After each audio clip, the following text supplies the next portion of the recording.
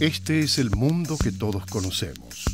Esta es una pequeñísima parte de él. Córdoba, Argentina. Córdoba es una de las 23 provincias que componen la República Argentina y es la quinta provincia más extensa del país, ocupando casi el 6% de su superficie.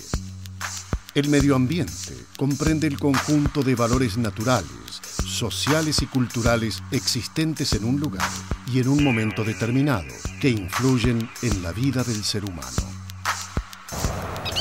Este es el bosque chaqueño, uno de los tantos paisajes característicos de la provincia.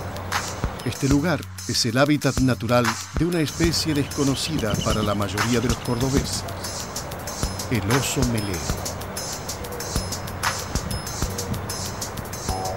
Esta especie, pariente cercano del oso hormiguero, que se alimenta de hormigas, termitas y abejas, tiene graves problemas de conservación. Este es un científico. Los científicos investigan usando el método científico.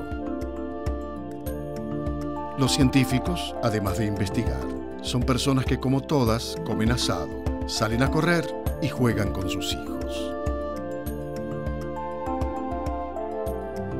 Aquí, además de exponerse diferentes especies silvestres al público, los científicos, por medio de las investigaciones, procuran contribuir a la conservación de especies autóctonas y a la educación de manera integrada. Los científicos, conjuntamente a biólogos, veterinarios y cuidadores, constituyen una red de trabajo interdisciplinaria con el objeto de facilitar la transferencia de conocimientos desde la comunidad científica a la sociedad. Este es el Hospital Veterinario del Zoo. Aquí el científico recolecta heces de oso melero para un importante estudio que está realizando.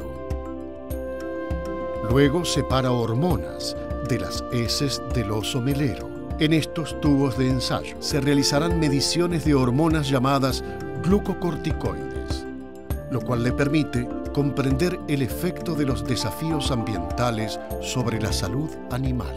Estas hormonas que los científicos obtuvieron de las heces o de la orina les permite procesar las muestras y obtener información sin necesidad de tocar a los animales. Esta técnica se llama monitoreo hormonal no invasivo. Finalmente, el proceso continúa en laboratorios de la Universidad Nacional de Córdoba, CONICET, donde analizan las variaciones hormonales en colaboración con otros científicos locales e internacionales.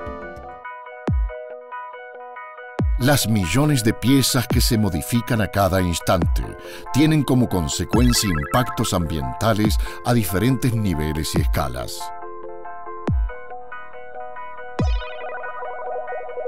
En la actualidad, somos los seres humanos los que a través de la ciencia podemos conocer y comprender la realidad y las tecnologías desarrolladas pueden ser útiles para el resto de la sociedad, para mejorar el aprovechamiento de los recursos naturales.